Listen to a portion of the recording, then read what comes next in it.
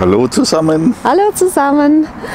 Also wir sind hier heute in Mühlacker und in Mühlacker da wird wieder für unseren Gustel was Wunderschönes gebaut. Hm? Genau bei der Firma Remectro. Mhm. Und bevor wir da jetzt ins Detail gehen, machen wir erstmal das Intro. Jawohl, also bleibt dran. Mhm.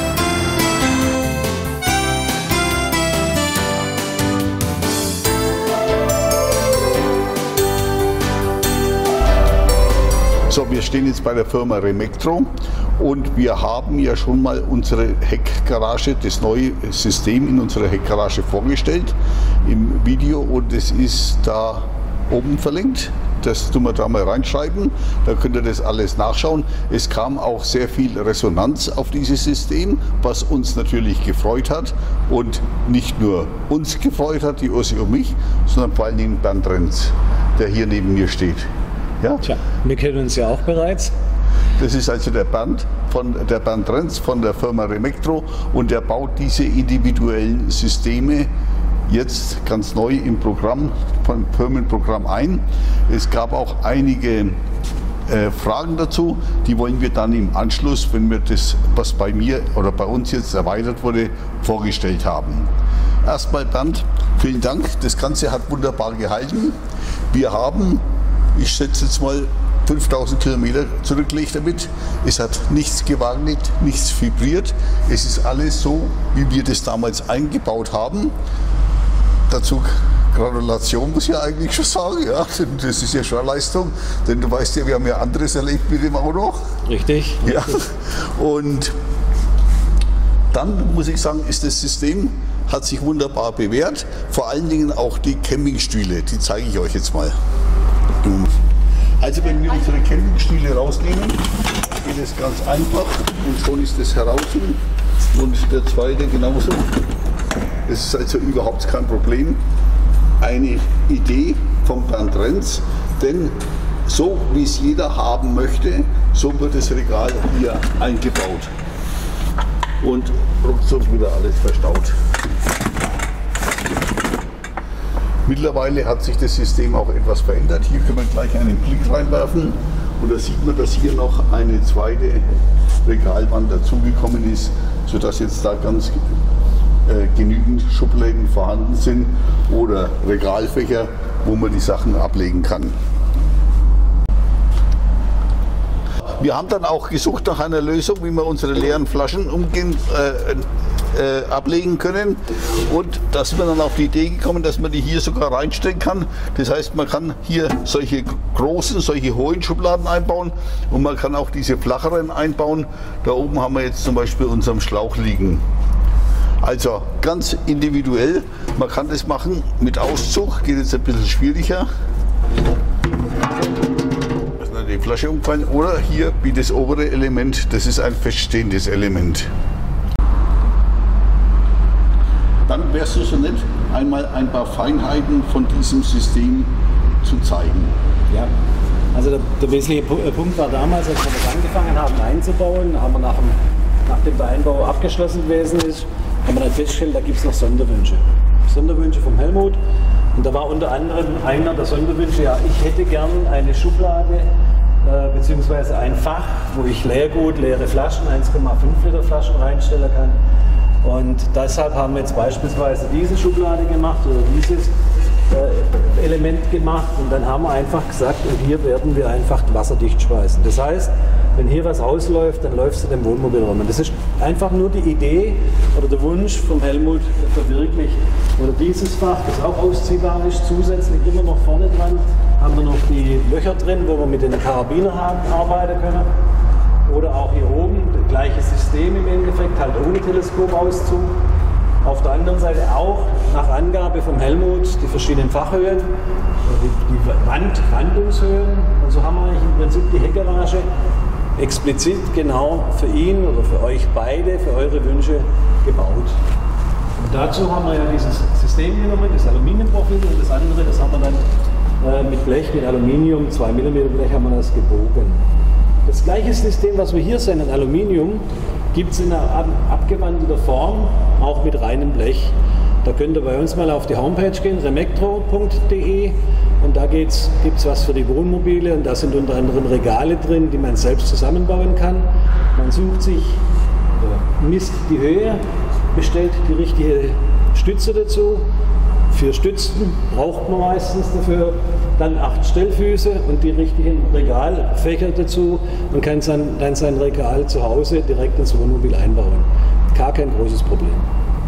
So, es ist ja auch so, dass jeder seinen Bierkasten dabei hat und wir haben das mit der Firma Paulana in Absprache gemacht. Ja, die haben extra wegen uns, das geht, ich glaube, oder schon vorher, oder? Ich weiß nicht, haben die, nee, haben schon länger, haben schon länger. Die haben das so geteilt und das stellen wir nehmen dann wir so raus und dann haben wir zwei halbe Bierkisten dabei. Also sehr praktisch, extra für Wohnmobile angefertigt, damit man sie da gut verstecken kann. Und wie schon der Bernd gesagt hat, das halte ich für eine ganz tolle Lösung, dass wir hier auch unsere Wasserflaschen unterbringen, einmal die vollen und einmal die leeren. Und ansonsten alles individuell gemacht, hält bombenfest.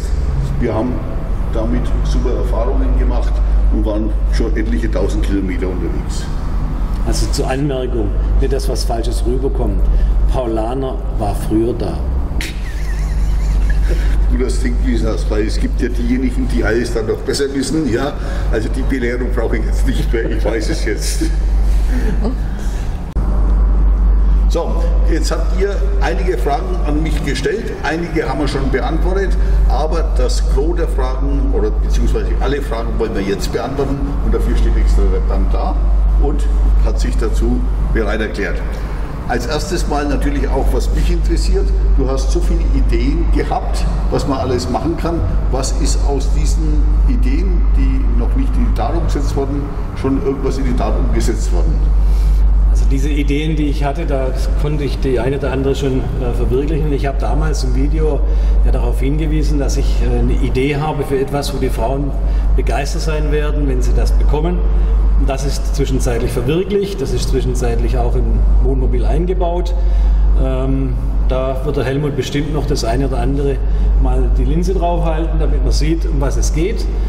Dann äh, war mein Gedanke gegangen, auch im Hinblick dessen, dass wir immer wieder vielleicht mal ein Problem haben auf der Autobahn oder sonst wo, es ist ein Unfall ähm, dass ich sehr schnell einen Zugriff habe auf Verbandskasten, dass ich sehr schnell einen Zugriff habe auf Warndreieck, respektive Warnwesten, damit ich die nicht in den dunklen Katakomben der Heckgarage suchen muss. Habe ich zwischenzeitlich auch eine Lösung, die ist auch schon bereits verbaut und auch bereits im Einsatz. Und dann gibt es noch eine Lösung, wir kennen alle die Situation, dass man auch Keile braucht, zum Wohnmobil natürlich dementsprechend Brems, für die Bremse unterstützen am Hang zu nehmen. Auch hier gibt es bereits eine fertige Lösung, die auch bereits verkauft ist. Ähm, und so wird eigentlich im Prinzip permanent, ja, permanent kommen neue Ideen dazu. Heute allein schon beim Einbau hier sind wir zwei neue Ideen kommen, wo ich dann einfach umsetzen möchte. Und so wird sich das in den nächsten Wochen, Monaten immer wieder was dazukommen. Wir haben ja einiges an Mails bekommen und auch natürlich in den Kommentaren unten. Wir bitten auch jetzt wieder, wenn ihr Fragen habt, schreibt sie unten in die Kommentare rein, dann kann es auch jeder mitlesen. Ein Kommentar, Kommentator hat gemeint, dass es nicht gut funktionieren kann, denn die Vibrationen, denen das Fahrzeug ausgesetzt ist, die führen unweigerlich dazu, dass sich diese Dinge, diese Regale verändern und wenn man sie zu fest anzieht, nach unten und nach oben verklemmt, dann kann das Fahrzeug Schaden davon nehmen. Wie stehst du dazu? Also man muss dazu sagen, diese ganze Situation, was wir hier sehen, das habe ich nicht einfach aus Jux und Tollerei jetzt irgendwann eingebaut, sondern ich habe natürlich bei mir, beim eigenen Wohnmobil, äh, einmal den einen oder anderen Test gemacht. Wir haben da die Stangen reingemacht, wir haben mal angepresst und das stimmt schon, was der Kommentator sagt. Äh, durch Vibration oder sonstiges löst sich sowas. Und äh, man ist dann wahrscheinlich sehr häufig immer wieder mit einem Schlüssel dabei und zieht es fest. Und jetzt kommt eigentlich die Frage nach fest kommt ab, respektive ich kann, es kann durchaus sein, dass ich dann dadurch im Wohnmobil in der Holzstruktur, darüber liegen ja meistens die Betten, dass ich da was deformiere.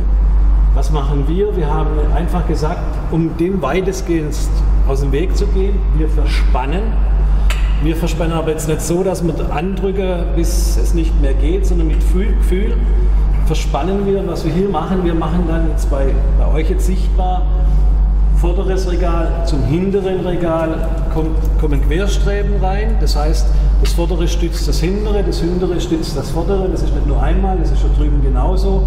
In dem Bereich drin bewegt sich das Regal minimalst. Theoretisch könnte ich oben die Schrauben lösen und es würde trotzdem so stehen bleiben. Kann ich auch bestätigen, hat sich nichts verändert bei uns. Dann kam die Frage, wie gehe ich hier vor? Die Firma Remectra sitzt in Mühlager und Mühlager, das ist bei Pforzheim in der Nähe von Stuttgart. Ja. Und wenn ihr Interesse an dem Ganzen habt, wendet ihr, wendet ihr euch an den Bernd Renz und der sagt jetzt euch, wie es am besten geht. Also die E-Mail-Adresse, das ist immer am besten vielleicht über E-Mail-Kontakt aufzunehmen, ist b.renz at remectro das, das K, das man hört, ist ein C, Wir R-E-M-E-C-T-R-O. blenden es ein unten. Punkt, okay, de. So, das ist die Kontaktaufnahme. Und je näher oder je genauer ich weiß, was der Kunde, der, der, der potenzielle Kunde haben möchte, umso eher kann ich auch dementsprechende Antworten geben. Ich möchte meine Heckgarage ausgebaut haben, Punkt.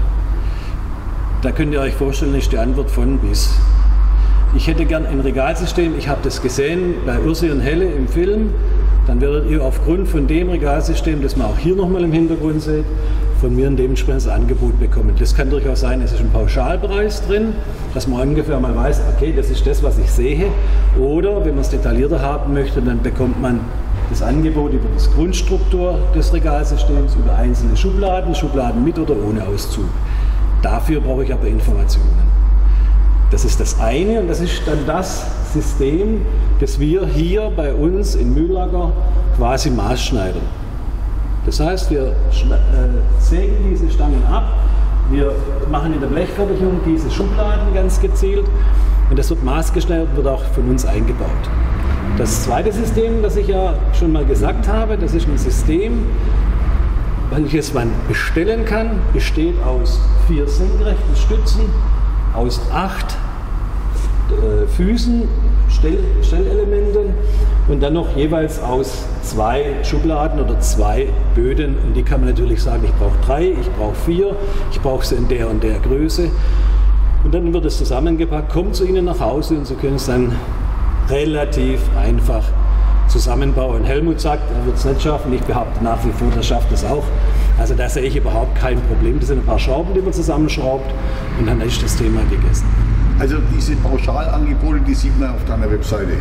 Da haben wir jetzt momentan, äh, ich weiß nicht wie viele das sind, sechs, sieben Regale drin. Ja, die da kann man sich verschiedene- das anschauen. die verschiedene Dimensionen haben und äh, wie gesagt, alle sind von diesen Regalen, so wie sie abgebildet sind, haben zwei ähm, Fachböden, haben dann die vier äh, Ständer und haben dementsprechend acht Füße bzw. Befestigungselemente. Und so kommt es zu Ihnen nach Hause.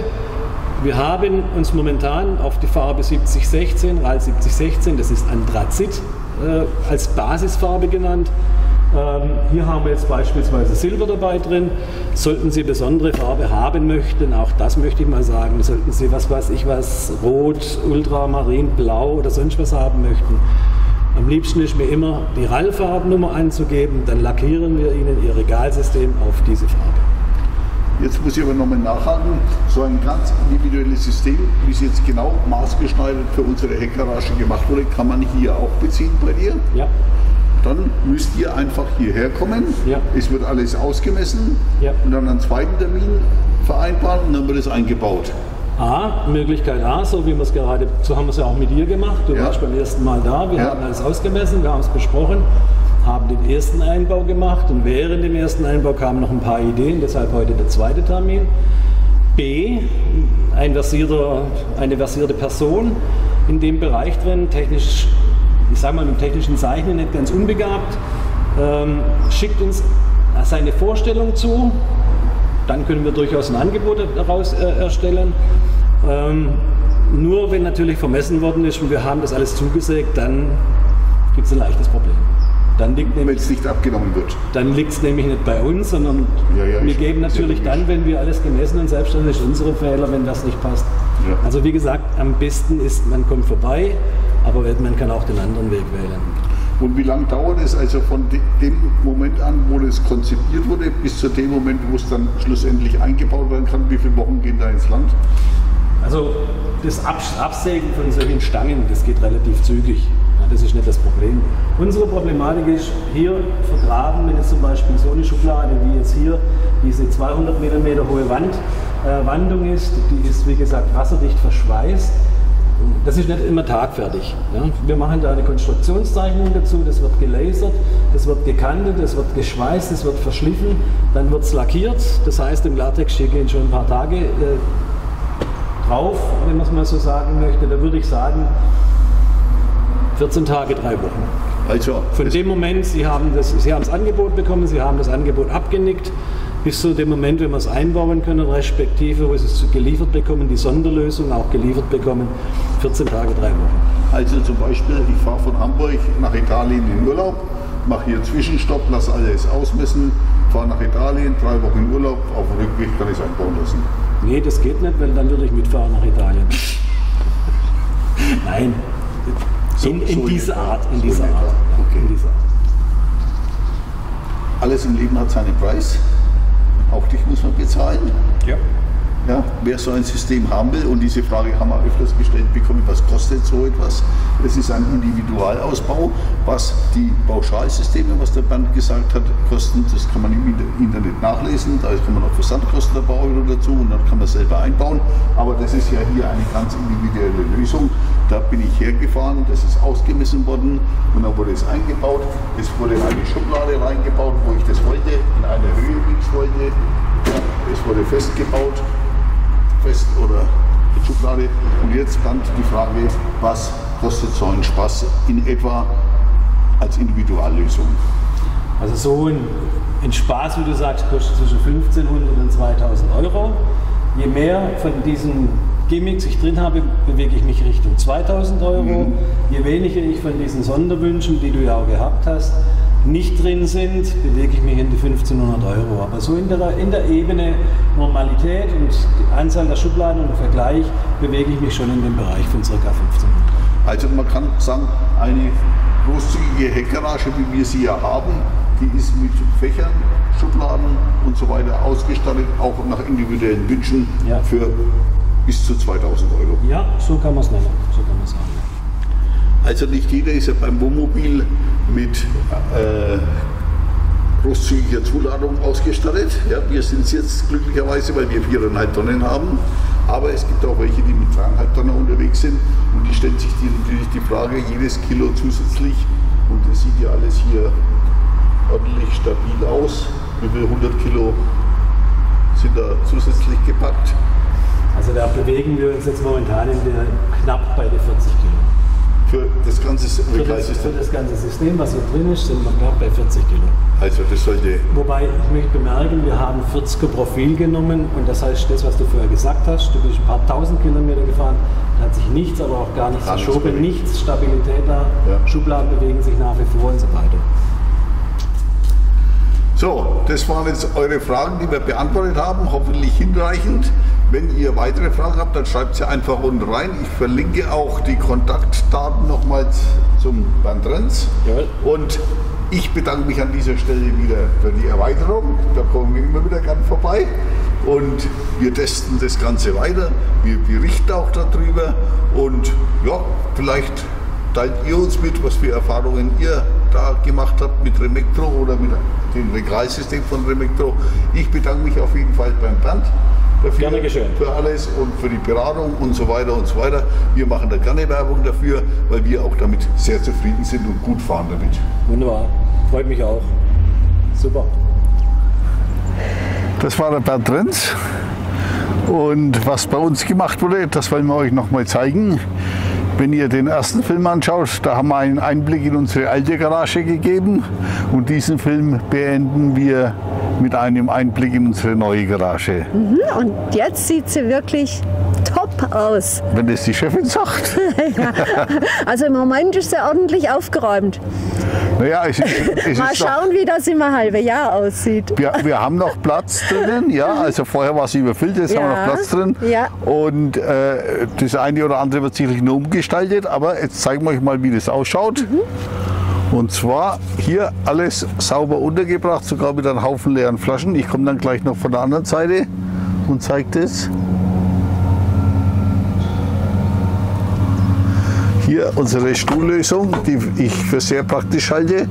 Und, und die beiden Easy-Fahrräder, die wir uns gekauft haben mit den verstellbaren Lenker. Die passen hier auch wunderbar in die Mitte rein. Hier noch die andere Seite und da kann man dieses äh, Notfallset zum Beispiel hinmachen, also auf der anderen Seite. Das ist aber bei uns hier schlecht durch das, dass sich die Tür nicht ganz öffnen lässt sondern eben nur so ein Viertel in 90 Grad Winkel. Dadurch muss ich immer beim Fahrrad einladen hier entlang und da kann also nicht so ein dicker Brummer hingemacht werden. Was wir uns aber überlegt haben, dass wir den Schlauch, der jetzt da oben liegt, dass man den hierher macht. Also dafür müsste es auf jeden Fall reichen. Auf jeden Fall ist es ein sauberes Ordnungssystem und ihr seht, da ist alles untergebracht.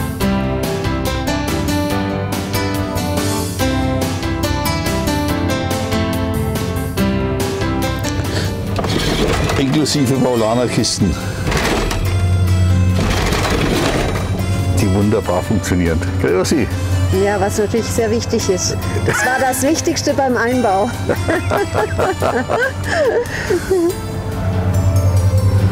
Und da seht ihr auch, wie stabil das alles ist. Da bewegt sich gar nichts.